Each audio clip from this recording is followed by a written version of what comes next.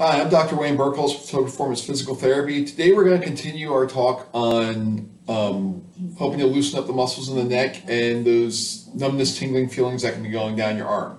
So last time we talked about two stretches for the neck to help loosen the neck. Today we're going to continue with one more stretch for the neck, and then we're going to begin talking about the first of the three nerves that run down the arm. So Sam is going to demonstrate the scalene stretch. Those are muscles that run along the side of your neck and a little bit in the front.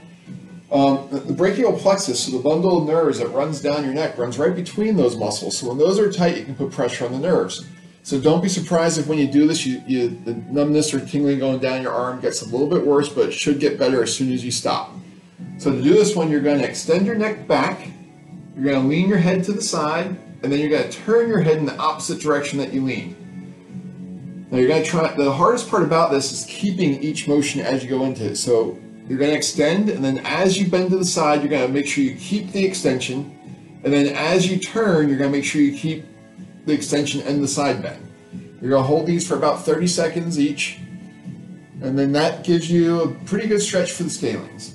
Now moving into the first nerve that we're going to talk about, it's the ulnar nerve. So to, to work on this one, you're going to make that funky position with the hands. Put your fingers on your neck and slowly move your hand, your thumbs up toward your eye. If at any point during this you get any numbness, tingling, or burning, stop right there. So halfway through the motion you get it, stop halfway through. Right there, then that's where you stop and you go back down.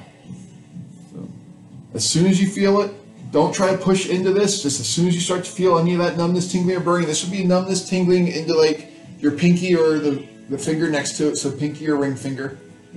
All right, give it a shot. Thanks a lot.